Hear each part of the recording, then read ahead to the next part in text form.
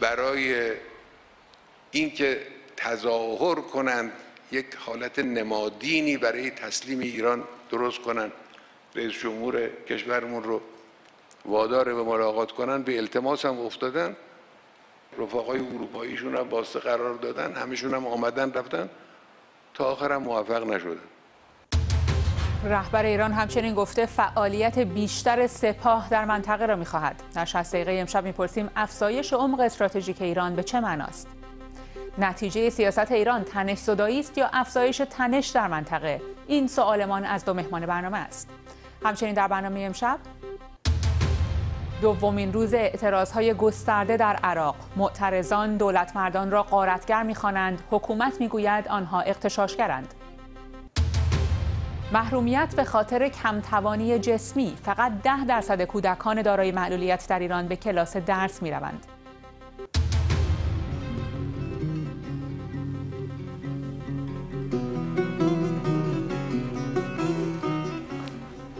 و علی عظیمی در بخش ویژه برنامه امشب از عشق و شیاطین دیگر می‌خواند.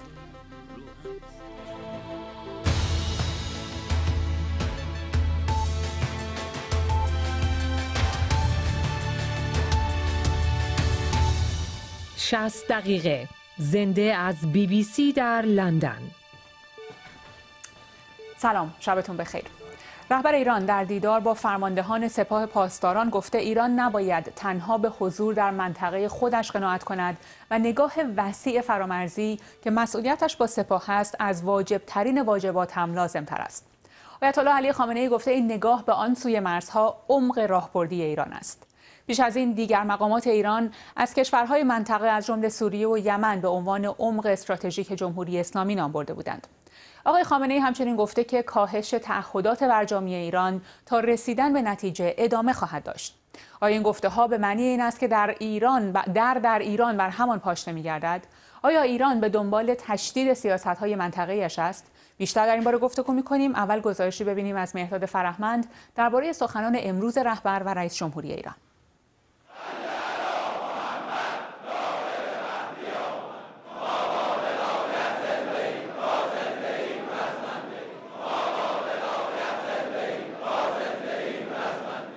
سخنان آیت الله خامنه ای برای سپاهیان تکرار موضع همیشگی او بود که زبان خوش و گفتگو با آمریکا راه به جایی ندارد.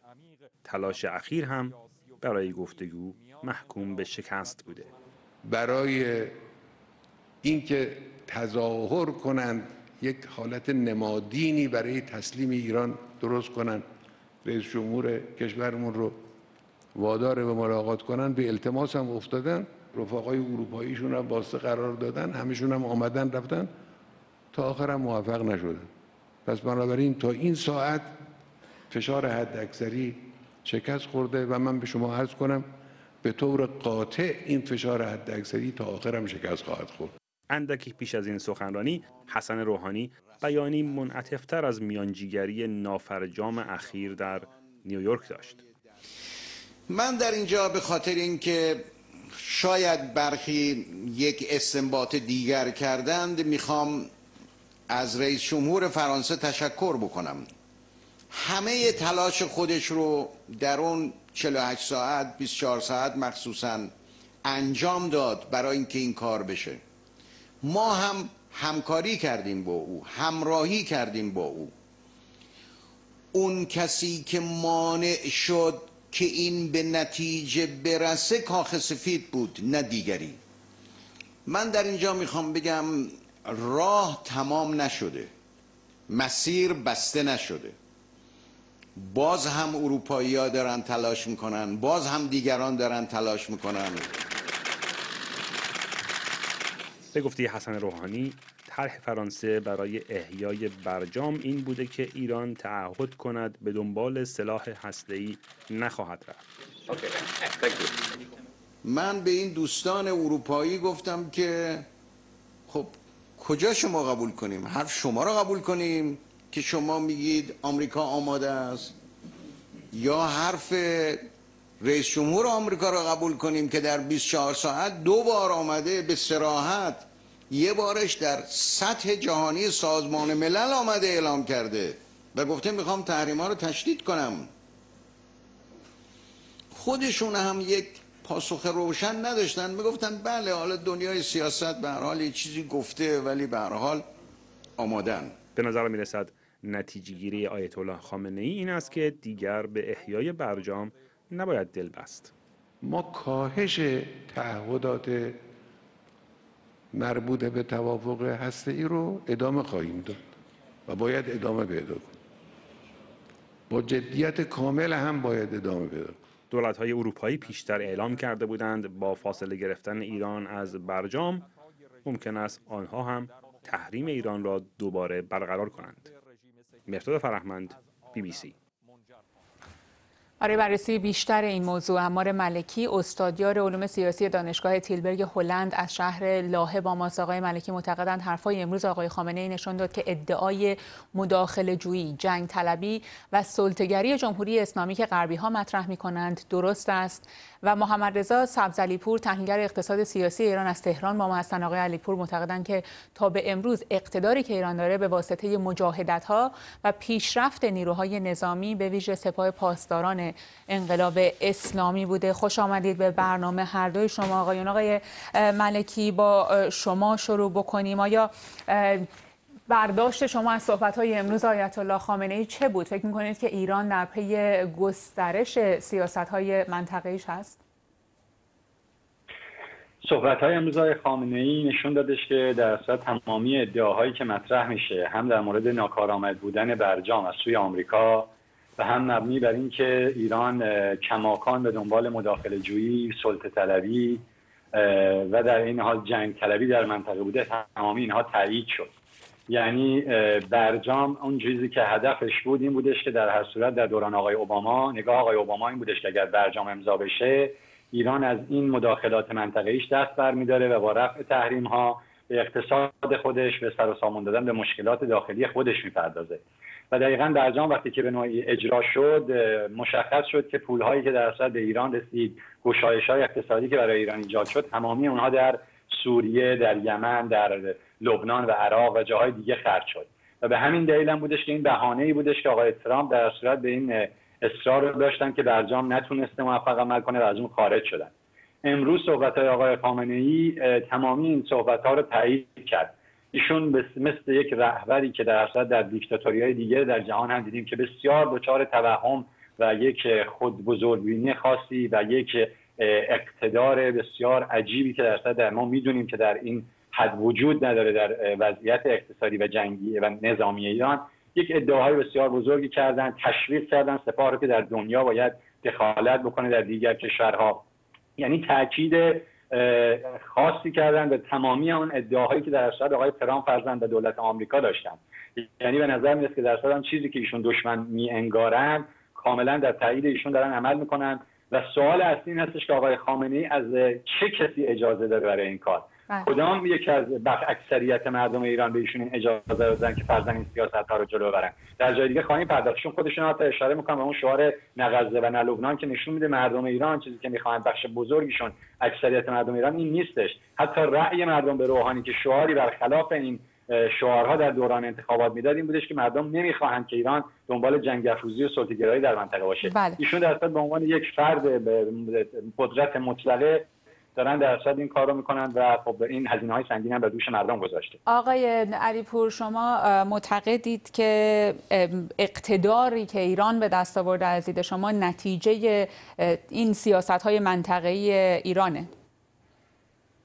با نام یاد خدا و با سلام خدمت شما و همه بینندگان محترمتون. خدمت شما ارز کنم که برخلاف صحبت های مهمان برنامهتون که تقریبا میشه گفتش که صحبت هایی رو انجام میدن که تو این سالها دیکته شده است و همه دوستانی که با آقایون همفکر هستن همین صحبت ها رو به صورت صفحه گرام همیشه می‌ذارند و میچرخه خدمت شما باید عرض بکنم که در ارتباط با تنشی که میفرمایند که آیه خامنه ای به تنش دارن دامن می‌زنن باید عرض بکنم که وقتی که حضرت آی خامنه ای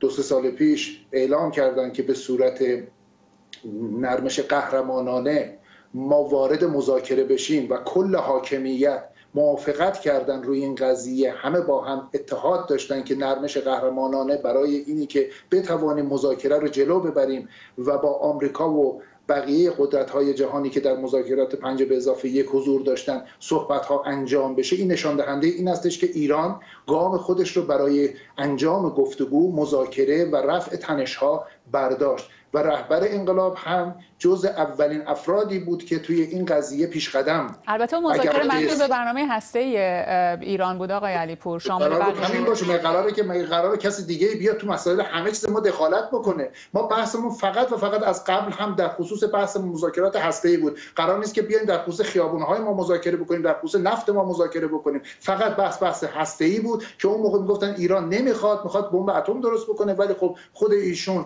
یک فتوا دادن که اصلا موافق بمب اتم نیستن و اجازه این رو دادن که به صورت نرمش قهرمانانه مذاکره انجام شد مذاکره انجام شد.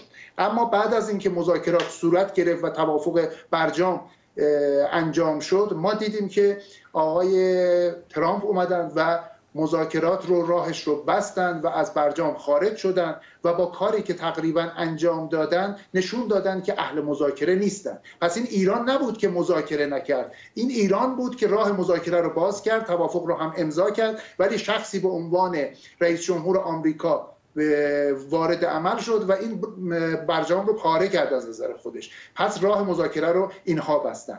برای اینی که راه مذاکره رو بستن دو راه بیشتر نداره. یا باید مذاکره کنیم یا باید تنش داشته باشیم دیگه. ما به این نتیجه رسیدیم. ما منظورم ایرانه. ایران به این نتیجه رسید که باید بنیه های نظامی خودش رو تقویت بکنه.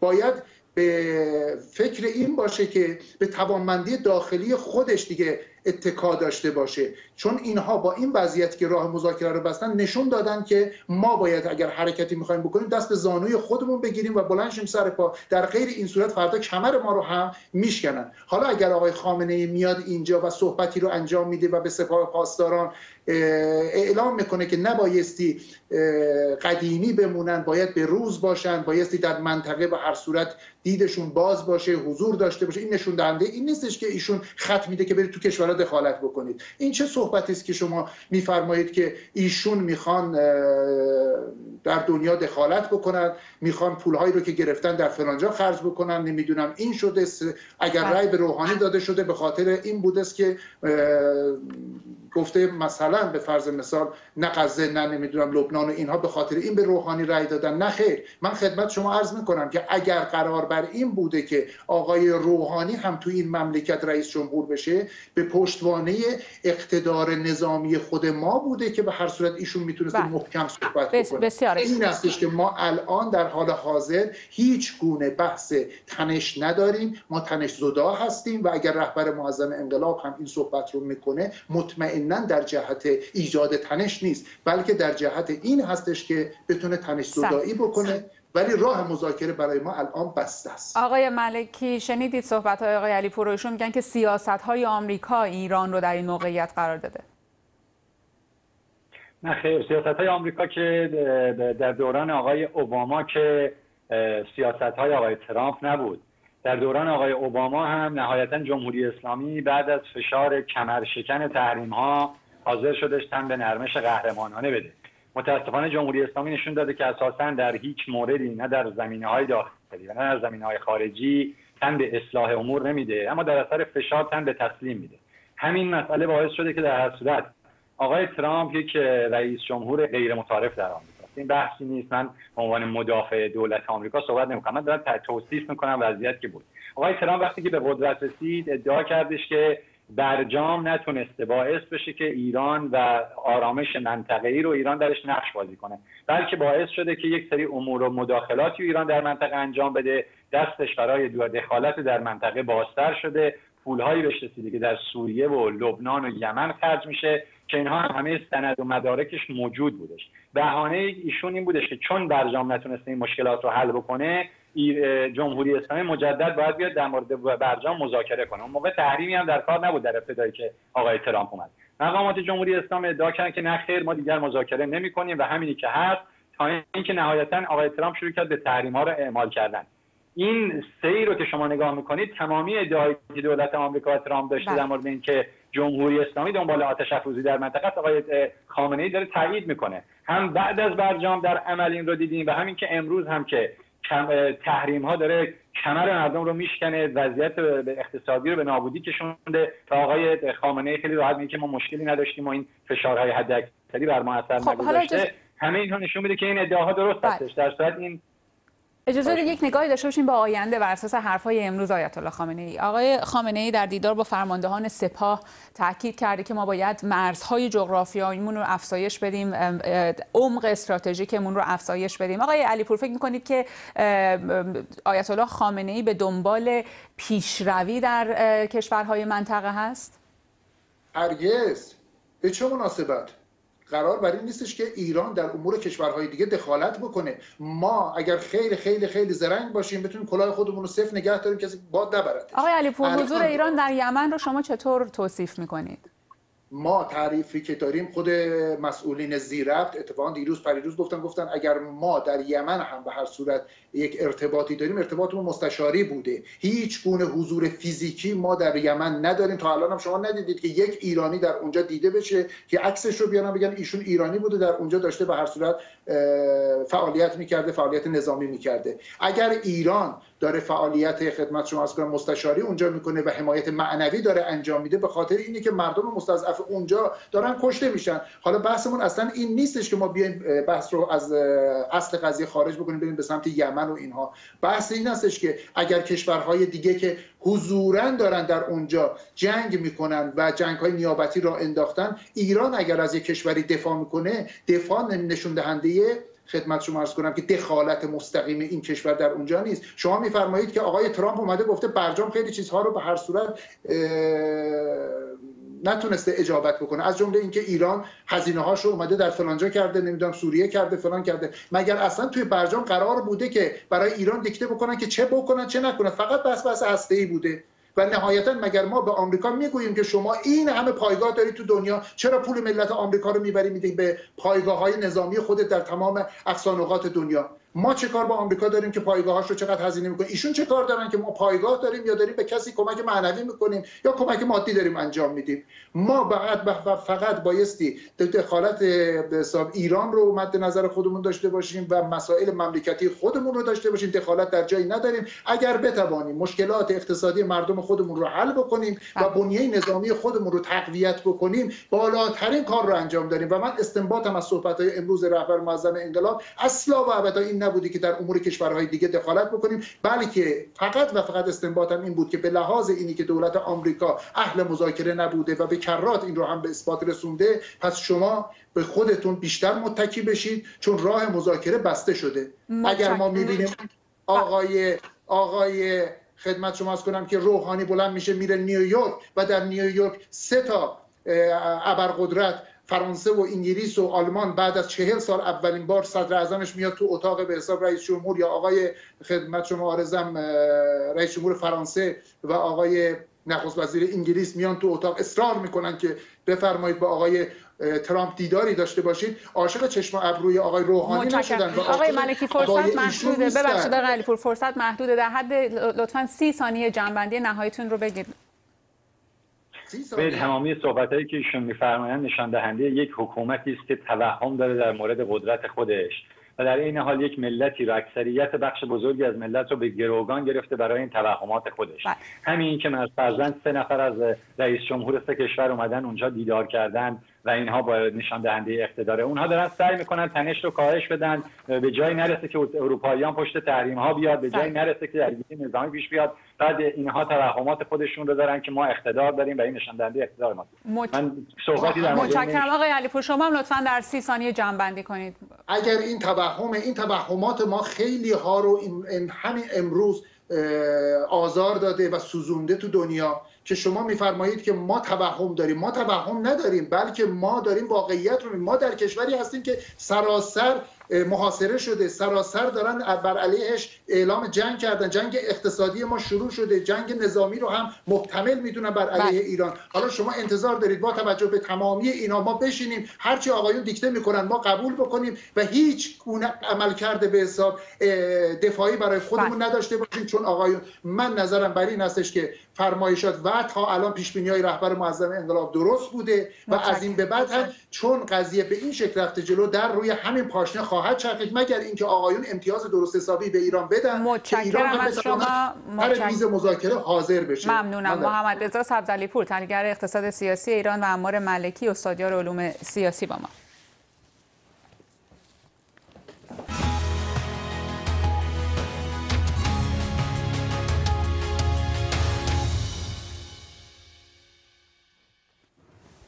اعتراض گسترده مردم عراق برای دومین روز هم در بخش‌های مختلف شهر بغداد، پایتخت و بعضی شهرهای دیگر این کشور ادامه داشت.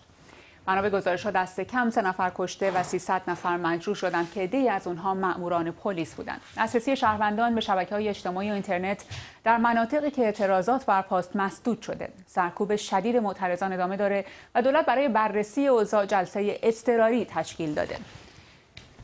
این بزرگترین اعتراضات علیه دولت عادل عبدالمهدی نخست وزیر عراق که پارسال روی کار آمد اعتراضها از زمان برکناری عبدالوهاب ساعدی فرمانده ضد تروریسم عراق شدت گرفته بر اساس آمار رسمی از سال 2004 میلادی یعنی از 15 سال قبل از زمان سقوط صدام حسین دست کم 410 میلیارد دلار از درآمد عمومی عراق به جیب سیاستمداران و افرادی رفته که در بخش‌های اقتصادی فعال بودند. شعار اصلی معترضان عراقی هم همینه. دوست ها ما رو قارت کردند. همه این احزاب و مرجعیت روی سر ما جا دارند. فقط یک چیز می‌خوایم اونم اینه که دخالت نکنند. اولین خواسته ما موضوع فساده. ما دیگه از این وضعیت خسته شدیم. ما می‌خوایم کشورمون دست مردم خودمون باشه. این اولین بار نیست که مردم در عراق علیه فساد گسترده دولتی به پا میخیزند. اما این بار جوانان بودند که دست به کار شدند. جوانانی که به گزارش بانک جهانی 25 درصدشون بیکارند. از چندی پیش گروهی از جوانهای عراقی با راه انداختن هشتگی با عنوان اعتراض برای حقوق هم از مردم خواستند تا در تظاهراتی گسترده در روز اول اکتبر شرکت کنند و این جرقه اعتراضهای گسترده بود که از دیروز زده شد. بعضی چهره های مهم سیاسی این کشور همچون مقتدا صدر خواستار بررسی خشونت نیروهای امنیتی علیه معترضان شدند. آیت الله سیستانی از مراجع تقلید پرنفوذ شیعه اما هنوز واکنشی نشون نداده. سازمان ملل متحد اما به سرکوب های اخیر ابراز نگرانی کرده و دولت عراق گفته معترضان ادعی اغتشاش کردند. برای بررسی بیشتر این موضوع دو مهمان داریم در برنامه. یوسف عزیزی بنی طرف پژوهشگر مسائل جهان عرب. اینجا با ماست آقای بنی طرف معتقدند که قیام مردم عراق در اونزاست و برآمده از اعتراض علیه فساد دزدی و ناکارآمدی دولت و همچنین سیطره رژیم ایران و احزاب حاکم. و همچنین نجاح محمد علی تحلیلگر مسائل عراق آقای محمد علی معتقدند که این تحرکات قیام نیست بلکه اعتراض و حقوق قانونی مردم عراق. اما تحریک کنندگان این تظاهرات بازیگرانی خارجی هستند. با همدستی احزاب فاسد عراق. خوش اومدید به برنامه آقای نجاح. شما معتقدید که دست خارجی ها پشت این اعتراضاته. بسم الله الرحمن الرحیم نه فقط معتقد هستم بلکه اطلاعات فراوانی دارم درباره این موضوع. و این موضوع جدید نیست. یعنی تقریبا چند ماه پیش آقای قیس الخزعلی رهبر جنبش حرکت عصائب اهل الحق درباره همون تظاهرات و روزش صحبت کرده. گفت در روز اول اکتبر همچنین تظاهراتی خواهد شد و اطلاعاتی دارن من جمله این اطلاعات که در چرا ما میگیم خارجی ها رهبران یا به اصطلاح تحریک کنندگان این تظاهرات دو تا جلسه داشتن در پایگاه عین الاسد. پایگاه امریکایی عین الاسد در الانبار با حضور یکی از نمایندگان یا نماینده رژیم صهیونیستی دوبار اومد اونجا. ملاقاتی داشت با افرادی که ما اسمشون هم داریم ولی نمیشه گفت در تلویزیون از لحاظ قانونی.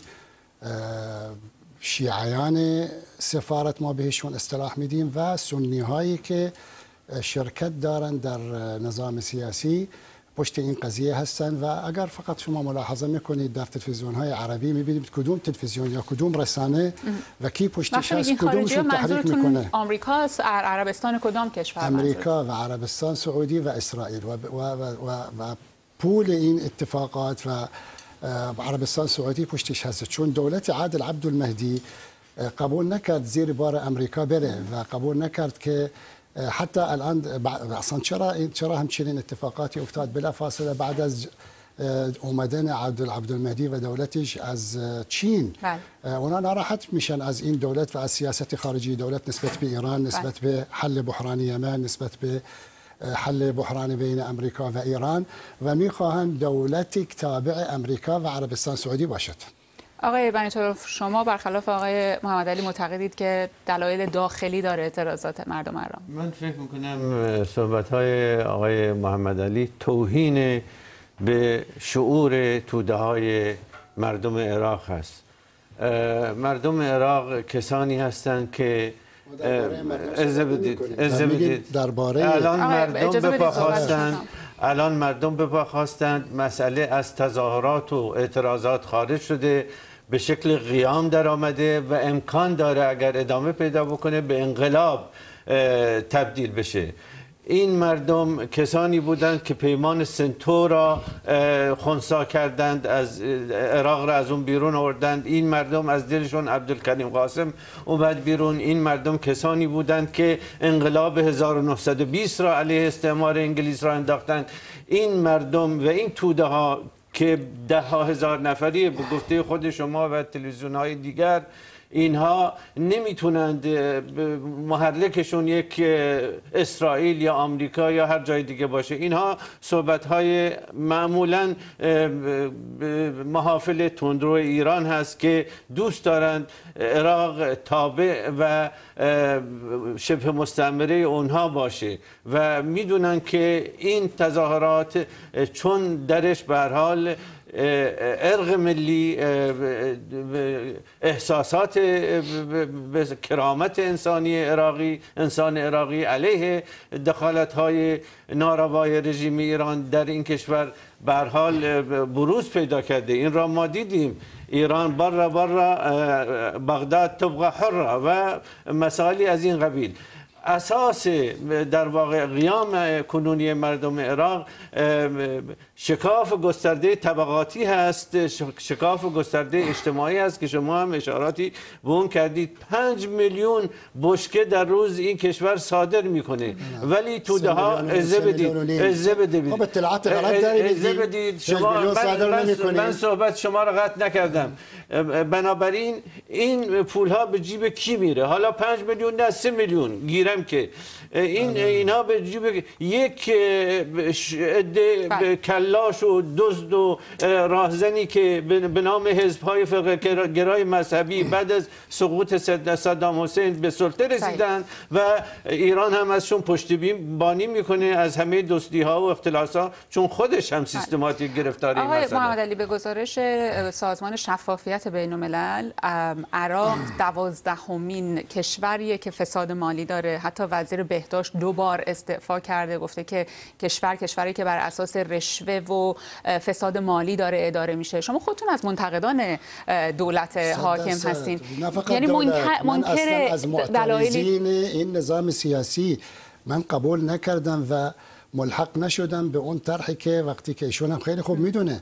امریکا. چرا این وقتی که رژیم صدام عوض کرده در حالی که من از مخالفین رژیم صدام بودم و خیلی از خانواده من شهید شدن 37 نفر شهید شدن در دست صدام حسین کشته شدن. منتها ما وقایع وقایع داریم میگیم. اولا خودتون خوندی نظر من. من در حالی که معتقد هستم مردم عراق حق دارن اعتراض بکنن و من درباره معترضین صحبت نمی کنم من دارم درباره تحریک کنندگان. ایشون میگه ایرانه. خب ایران کی کی کی انتحاری ها رو فرستاد به عراق؟ می‌دونی عربستان سعودی 5500 این وزارت کشور عراق میگه 5500 انتحاری عربستان سعودی. 32 تا 32 تا هزار ماشین بمبگذاری از مرز عربستان سعودی وارد شد و به عراق و هفتاد هزار تا انفجار رخ داد در عراق میان 2003 الی 2014 یا 16 ببخشید. همشون از عراق از ایران ما هیچ کدوم انتحاری نداشتیم. ایران نشون میگه ایران این کارو کرده. البته من میگم ایران متاسفانه با برخی از احزاب روابطی دارد و برخی از اون احزاب هم فاسد هستن. ما معتقد هستیم فساد وجود داره. ولی ما داریم تحلیل می‌کنیم این تظاهرات. این تظاهرات پشتش هست اسرائیل و عربستان سعودی و امریکا. یعنی فکر کنید و این کودتا علیه کل نظام سیاسی. نه فقط علیه دولت عادل عبدالمهدی. من اصلا عادل عبدالمهدی رو قبول نداشتم. چون جالب اینجاست که الان خود مسئولان و حاکمان هم منکر علل اعتراض کسانی که تو خیابون ها هستن نیستند. اونها هم دستور دادند. حتی دولت دستور داده که شرکت های خارجی که هستن از این به بعد باید 50 درصد کارکنانشون عراقی باشن. یعنی خود مقامات مقامات هم منکر ناکارآمدی دولت این درباره قراردادهای 100 درصد. چون بسیاری از کسانی که الان در خیابون هستن گفته اما شما فقط سوال شما من, من یه چیزی خدمتتون بگم. چرا مثلا یک نفر مثل ایدی کوهینی شما می‌شناسید شما هم حتما میشناسیش. یک نفر مثل ایدی کوهین رئیس مرکز مطالعات سادات بیگین وابسته مستقیما به وزارت خارجه رژیم صهیونیستی چرا مثلا همچنین فردی میاد علنا تحریک میکنه میگه و اسم اصطلاح انقلاب عراق میدهد به این بله. تظاهرات و تشویق میکنه تظاهر, تظاهر کنندگان چرا؟ چرا سفارت انگلیس سفیر انگلیس که ما الان تو انگلیس هستیم سفیر انگلیس در تهران تأیید می‌کنه این تظاهرات؟ چرا بیانی سفارت امریکا بیانیه می‌دهد؟ این تظاهرات رو تأیید می‌کنن در حالی که کشورهای غربی اساسا از روند دموکراتیک در نه نه قبل از این اجازه بدید. اجازه بدید. لحظه لحظه. با عرض معذرت شما نحكي آقا لحظه لحظه. شما صحبتتون کردید. تشکیل این دولت. چون ایشون نمی‌دونه. تشکیل این دولت عراق یه لحظه فقط. آقا معالی شما فرصتتون تشکیل دولت عراق. تفاهم شده. بین سفیر ایران و سفیر و سفیر انگلیس. چرا وقتی که اجازه اجازه بدید. وقتی شما نمی‌تونید صحبت کنید. چون نوبت نه. شما دولت عراق چطور تشکیل شد؟ شما صحبت کنید. مؤدب باشید بعدا صحبت کنید. ارزم ارزم حضور شما باشید مؤدب باشید. اجازه بدید. من صحبت من صحبت نزنم اجازه بدید اجازه بدید من صحبت کنم ارزم حضور شما کشورهای دموکراتیک غربی همیشه کشور از روند دموکراتیک در کشورهای مختلف از جمله در سودان حمایت کرده آمریکا انگلیس بقیه کشورها. اسرائیل هم یک کسی کسی که یک صحبتی کرده ممکنه بخواد از آب گلالود ماهی بگیره. ولی این نفی کننده حرکت توده های مردم عراق و به ویژه جوانان و تحصیلگرده ها هزاران تحصیل کرده بیکار هست. از دانشگاه اومدن بیرون هیچ کاری ندارن. یک سکتی یک جنتایی در اون بالا از احزاب فرقگرای مذهبی. تمام این در واقع ثروت و پست ها و مناسب را در اختیار خودشون گرفتن و این توده ها هم اغلب در مناطق شیعه نشین هستند. ده, ده ها هزار نفر اومدن به خیابون. اینها نمی‌تونن محرکشون فلان کشور یا فلان دستگاه باشه. بنابراین این مسئله قابل مشخص هست و قابل نفی نیست. اکنون به نظر من مسئله عراق ایشون حراسی که داره اینه که تمام نظام سیاسی عراق در خطره. بله در خطره به خاطر اینکه این نظام سیاسی شکست فاحش خودش رو به اثبات رسانده و مردم به جان رسیده که در شهرهای مختلف فقط بغداد هم نیست در بصره است ناصریه است اغلبا در مناطق شیعه است الان به مناطق سنی هم کشیده شده در کرکوک و دیالو و اینا. اینها همه روزی ببینید روزی ده ساعت در بعضی شهرها برق نیست. بله. در یک کشور نفتخیز که پنج میلیون بشکه حالا بگو سه میلیون صادر می‌کنه خیلی در واقع شرماوره برای یک رژیمی که الان 16 سال سر کار هست. فرصت رو شما سی ثانیه و شما سی ثانیه فرصت دارید. اشتراعات غیر صحیح دارم میدن آقا سی ثانیه لطفا جنبندی کنیم چون فرصت نداریم. خب این سوال اونجاست. شهرهای نشین در انبار و فلوجه و غیره قیام نکردن. فقط شهرهای برخی از شهرهای شیعه نشین و اهدافی که الان دارن حرکت می‌کنن در ناصریه به سمت زندان حوت. زندان حوت برای آزاد کردن دواعش داعشی که اونجا هستن. الان وضع اقتصادی عراق شاخصش در حال پیشرفته. بله. قطع برق و آب و شرب مثل اول نداشتیم. من من اهل بصره هستم. قبلا قطع برق داشتیم. قطع, قطع برق داشتیم. مثلا حدود 20 ساعت در, در روز. الان دو ساعت هم نمی‌رسه. بله. ممنونم. شما هم لطفا جنبندی پایانی. بله به نظر من عراق یعنی مردم عراق در پیکارشون پیروز خواهند شد. حالا ممکنه این قیام به نتایج ملموس نرسه ولی مهر خودش رو روی تحولات آینده عراق خواهد گذاشت و این تحولاتی که در عراق هست بخشی از موج دوم بهار عربی هست بله. که احتمالا بر خود همسایه و بر خود رژیم ایران هم تاثیر خواهد گذاشت. سپاسگزارم از هر دوی شما یوسف عزیزی بنیتور و فشوشگر مسائل جهان عرب و نجاح محمد علی تحلیلگر مسائل عراق. ممنون از هر دوی شما. سازمان دیدبان حقوق بشر و کمپین حقوق بشر ایران گزارش به عنوان مثل همه بچه ها منتشر کردند. در این گزارش موانع دسترسی کودکان دارای معلولیت در ایران به آموزش فراگیر و با کیفیت بررسی شده. در گزارش آنها آمده تنها از ده درصد کودکان دارای معلولیت در ایران در مدارس ثبت نام شده. مریم افشان گزارش می‌دهد. مثل بقیه بچه ها کودکان دارای معلولیت حق دارند از آموزش فراگیر و با کیفیت برخوردار باشند. کنوانسیون حقوق افراد دارای معلولیت سازمان ملل آموزش فراگیر را حق بنیادین همه یادگیرندگان می داند. ایران ده سال پیش به این کنوانسیون پیوست. در گزارش امروز سازمان دیدبان حقوق بشر و کمپین حقوق بشر ایران آمده از یک میلیون و نیم کودک دارای معلولیت در سن تحصیل فقط 150 هزار کودک در مدارس ثبت نام شدند. یعنی تنها ده درصد از کودکان دارای معلولیت. از این تعداد تنها 43 درصد در مدارس عادی ثبت نام کردند و بقیه در مدارس استثنایی. جامعه ایران معلولیت پذیر نیست. چون معلولیت پذیر نیست دانش آموزش هم از تبعیض آموزشی برخورداره از حقوق شهروندی برخورداره بر اساس تعریف سازمان ملل آموزش فراگیر یعنی کودکان دارای معلولیت و بدون معلولیت در کنار هم در کلاس های درس مدارس همگانی درس بخوانند. درست این طرح خیلی خوبیه. بچه ها اگر در کنار همدیگه باشن مخصوصا بچه های استثنایی رشدشون بهتره. اما این در صورتیه که کلاس تعداد جمعیت کمی داشته باشه و معلم قادر باشه که به این بچه رسیدگی کنه. خود من الان چهل تا دانش آموز توی کلاس دارم. کلاسی که به زحمت مساحت کل کلاس به 20 متر می‌رسه بر اساس گزارش منتشر شده عامل مهمی که مانع دسترسی کودکان دارای معلولیت به آموزش فراگیر و با کیفیت می شود طرح اجباری سنجش سلامت و آمادگی تحصیلی نوآموزان است بر اساس این طرح کودکانی که بهره هوشی تر از 70 داشته باشند دارای معلولیت ذهنی به حساب می آیند. کودکانی که بهره هوشی بین 50 تا 70 دارند دانش آموزان دارای معلولیت آموزش پذیر و آنها که بهره هوشی تر از 50 دارند آموزش ناپذیر محسوب می شوند.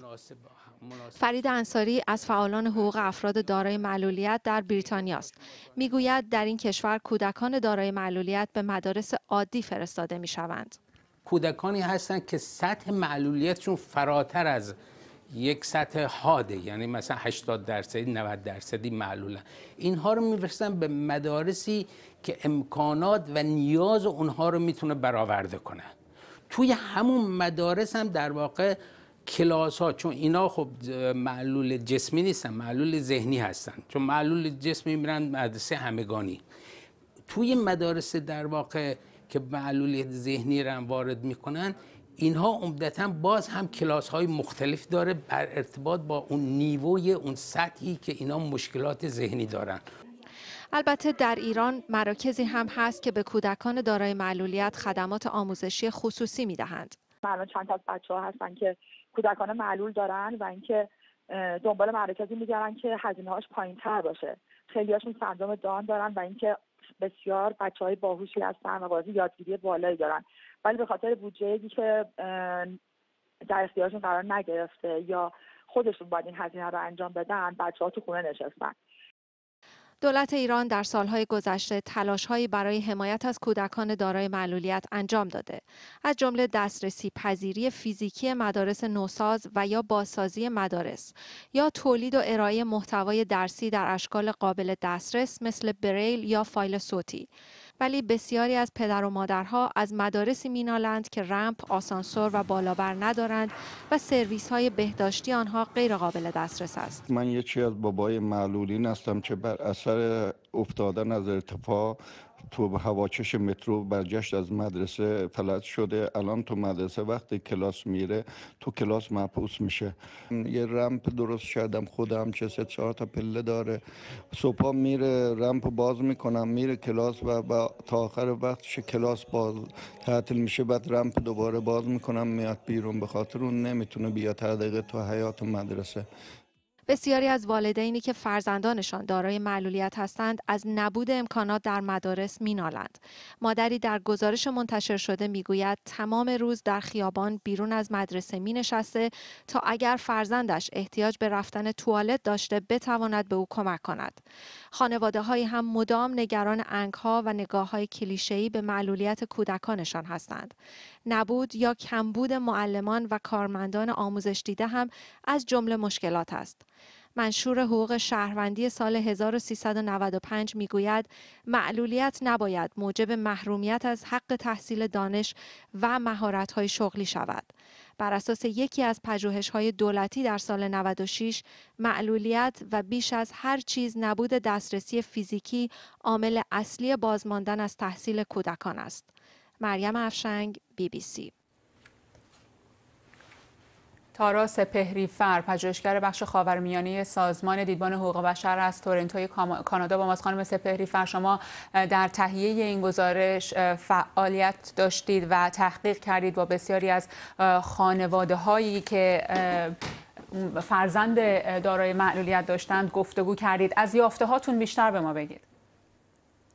در این گزارش که به طور مشترک با کمپین بین المللی حقوق بشر در ایران تهیه شده ما با بسیاری از کودکان دارای معلولیت خانواده هایی که فرزندان دارای معلولیت دارند و افرادی که در زمینه آموزش به افراد دارای معلولیت و یا آموزش به طور همگانی فعالیت می‌کنند صحبت کردیم. یافته های ما گزارشی که شما تهیه کردید و به طور مستقل بینندگان هم برای شما ارسال کردن رو تایید می‌کنه. یکی از مهمترین موانعی که در دست که برای دسترسی به آموزش فراگیر با کیفیت برای دانش آموزان دارای معلولیت وجود داره استفاده از طرح پزشکی طرح سنجش سلامت نوآموزان هستش که نه تنها افراد رو بر اساس معلولیت های جسمی جدا سازی می‌کنه بلکه بر اساس انجام تست های آیکیو افراد رو می‌تونه غیر قابل آموزش در مدارس همگانی و یا به طور کلی غیر قابل آموزش تشخیص بده و در همون بعد ورود به مقطع اول دبستان اونها رو از مدارس همگانی جدا بکنه یا اینکه به طور کلی اونها رو از دسترسی به آموزش محروم بکنه. یعنی میفرمایید در... که نوع آزمون هایی که انجام میشه در ایران متفاوت با استانداردهای جهانی؟ ببینید به طور کلی استفاده از سنجش IQ برای ارزیابی آموزش پذیر بودن دانش آموز توسط متخصصان مورد انتقاد واقع شده. بر اساس کنوانسیون های جهانی و موازین بین المللی من جمله کنوانسیون حمایت از حقوق افراد دارای معلولیت هیچ کودکی نباید غیر قابل آموزش تشخیص داده بشه. بله. اما اگر در واقع این یکی از بزرگترین موانعی هستش که نیاز به یک تغییر نگرش کلی در سیستم آموزش پرورش در کشور داره که مسئولین نه تنها تلاش بکنند برای ایجاد امکان آموزش کودکان دارای معلولیت در مدارس بلکه امکانات فیزیکی ساختمانی و همچنین به خصوص آموزش به معلمین و کادر آموزشی برای چنین آموزش فراگیری رو در مدارس فراهم بکنه. صحیح. شما در جریان تحقیقاتتون با ده ها خانواده صحبت کردید. می‌تونید مثال های ملموس به ما بزنید از تجربه خانواده هایی که فرزند توانیاب در ایران دارن. بله برای خانواده ها به طور مثال یک خانواده به ما گفتن مادر یک دختر به ما گفتن که برایشون اون لحظه ای که کودکشون غیر قابل آموزش تشخیص داده شده که از دردناکترین لحظه های زندگیشون بوده. با توجه به اینکه تمام نوشت افزار و لوازم لازم برای رفتن دخترشون به مدرسه رو فراهم کرده بودن. ما افراد دیگه ای رو داشتیم که به در مادرها به ما گفتن که در بسیاری از موارد به دلیل نبود امکانات فیزیکی خودشون مسئولیت بردن فرزندشون رو به مدرسه تقبل می‌کردن و به عنوان مثال یک مادری به ما گفتند که در هنگامی که دخترشون در مدرسه بودن ایشون در ماشین بیرون مدرسه میشستن. به دلیل اینکه دستشویهای اون مدرسه برای فرزندشون دسترسی پذیر نبود و ایشون منتظر میموندن تا هر زمانی که دخترشون نیاز به استفاده از دستشویی داشت بتونن به داخل مدرسه برن و کمکشون کنن. کسان دیگه بودن که معلمینی بودن که به ما گفتن که شاهد این بودن که کودکانی که دارای معلولیت بودن و نمی‌تونستن از امکانات مدرسه استفاده کنن بعضا حتی در خوردن و نوشیدن آب هم امساک می‌کردن که مجبور نباشن از, از دستشویی استفاده بکنن. کسانی بودند که می اومدن و, و کمک می‌کردند که کودکانشون رو که روی ویلچر میشستن از پله های مدارس بالا و پایین ببرند بله. و همین که خیلی از افراد مجبور می‌شدن به دلیل اینکه مدارس نزدیک منزلشون از پذیرش فرزندانشون سرباز می‌زدن مدارسی رو انتخاب بکنن که از منزل دورتر هستن و یا حتی در کودکانش رو به مدرسه شبانه روزی بفرست خانم سپهری فرد در تحقیقاتتون شما ضعف رو بیشتر در کجا دیدید؟ فقدان معلم هایی که توان آموزش به چنین کودکانی رو دارند یا اینکه نبود زیرساخت ها و مدارسی که مناسب چنین کودکانی باشه؟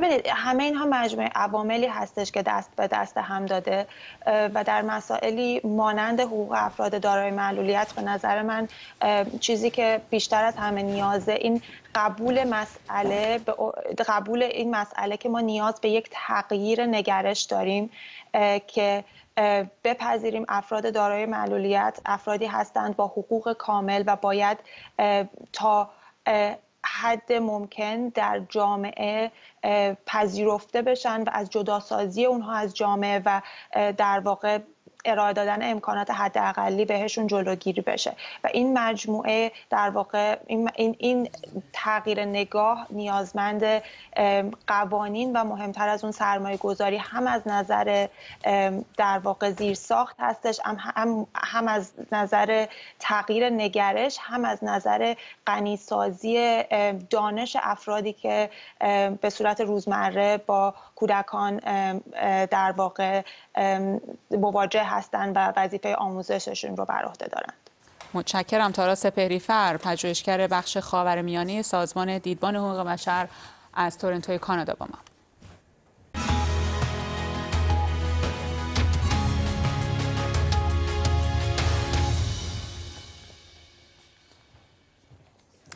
اما در 60 دقیقه امشب مهمانی هنرمند داریم. هنرمندی که مهندسی خونده و با وسواس و دقت ویژه مهندس ها آثارش رو تولید می‌کنه.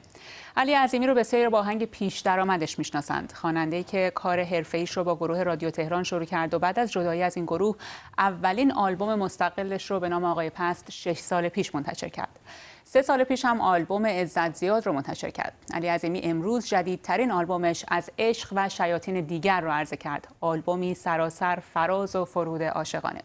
علی عظیمی خواننده آهنگساز و ترانه‌سرا در استودیو با ماست علی بالاخره جدیدترین آلبومت منتشر شد بعد از سالها انتظار طرفدارانت به نظر به نوعی یک سفر عاشقانه از شروع و اوج و پایانه. یه ذره از اینکه این مسیر چه, اتفاقی در درون افتاد در که تونستی این آلبوم رو بنویسی و تولید بکنی؟ بگو اجازه بدید در, در مورد اتفاقاتی که در درون افتاد خیلی نگم. خب ما ما دوست داریم بدونیم در درون چه اتفاقی افتاد. عرض شد که چیزایی به حال درون هر هنرمند اتفاق میفته وقتی یک اثر خلق میشه. اما بله داستان یک روایت یک رابطه است.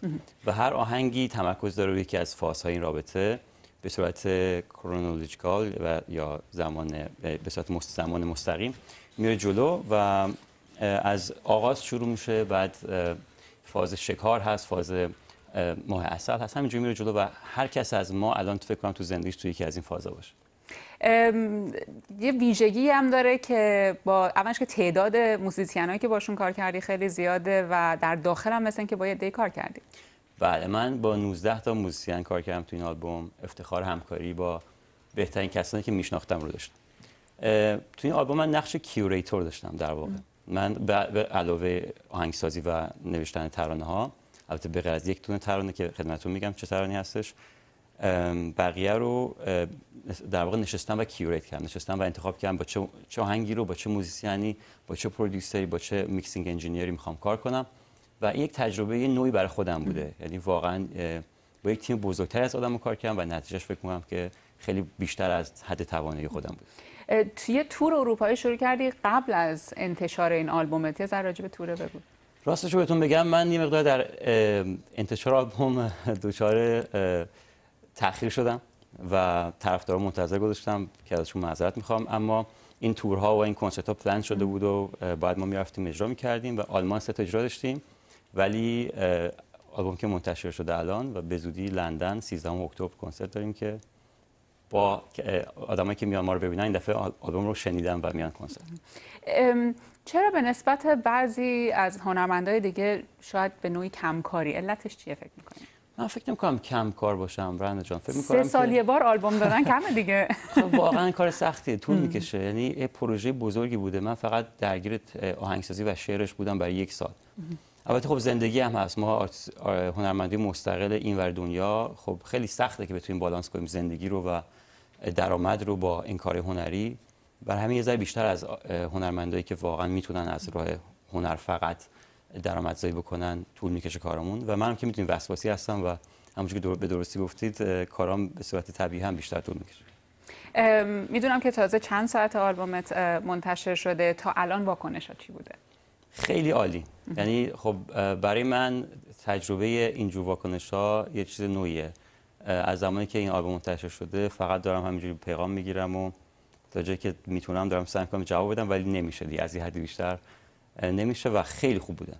خیلی از دوستان و طرفداران و کسایی که به کار من تا گوش دادن و مورد لطف قرار دادن و کسی که حتی انتخاب می‌کنن متشکرم و امیدوارم که با گوش دادن بیشتر شاید به این داستانی که توش مستتر هستش بیشتر پی ببره. برامون یکی از کارهای آلبوم جدیدت هم اجرا کردی. خودت می‌خوای یه توضیح خیلی کوتاه بدی؟ بله. من در مورد می‌تونم در مورد جلدی که پشت در ما هست یه توضیح اگه خیلی سریع آره 30 ثانیه بیشتر این کار دوست خیلی خوبم رهی رضوانیه که یکی از بهترین عکاس ها و طراحهای آلبوم هستش. با گروه های انگلیسی متعددی کار می‌کنه مثل Editors معروف ترینشونه و یکی از خواستم توضیح بدم که این جلد زیبا کار ایشون هستش. متشکرم. و کاری که برامون اجرا کردی؟ آهنگ آی دکتر براتون اجرا کردیم با پویای محمودی عزیزم که یک تونه اون فازیه که این کرکتر اصلی ما میره پیش روانشناس و یک مونولوگ با روانشناس. متشکرم. هدیه ویژه علی عظیمی برای بینندگان 60 دقیقه امشب. این 60 دقیقه رو با اجرای آهنگ آی دکتر علی عظیمی به پایان می‌بریم. شبتون خوش.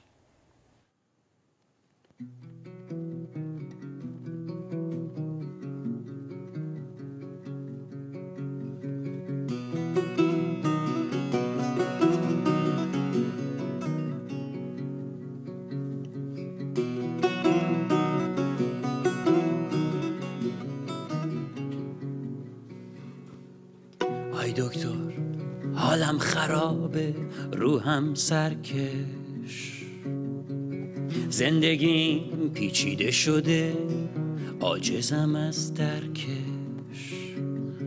من یه رانندم که پاش تا ته روی گازه. یه قمار باز که اومده زندگی رو به بازه.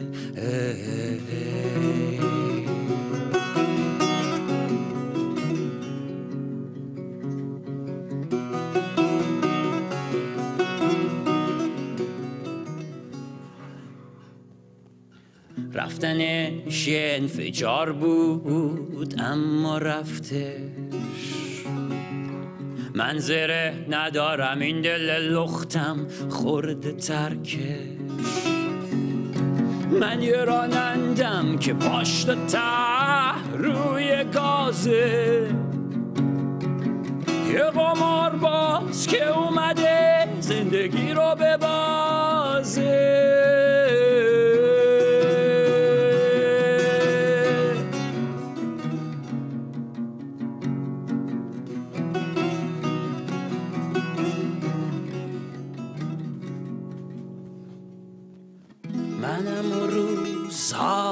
پشت سر. منم و حسرت های خاک به سر. منم و اهداف عالی. منم و یک تخت خالی. اشتباهی جو گرفتم با رویای عشقی. پر گرفتم. ببین سقوط آزادم.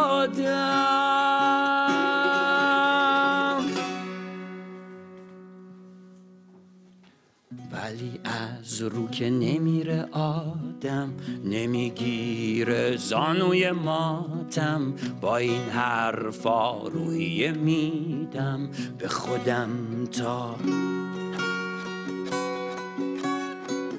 خبر از دل بر بیاد شوق من از سر بیاد بشکنه این دور باطل روزهای بهتر بهتر بیان. دکتر حواست با منه؟ خوب. آی دکتر اون نسخه رو ول کن. من دارم میرم.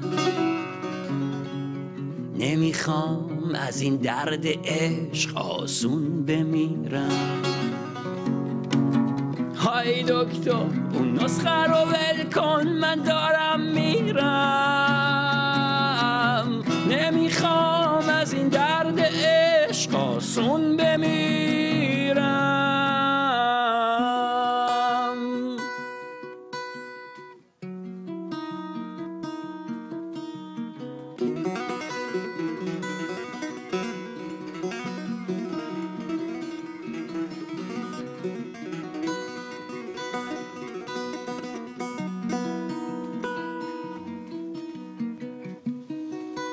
آزمودم عقل دوراندیش را.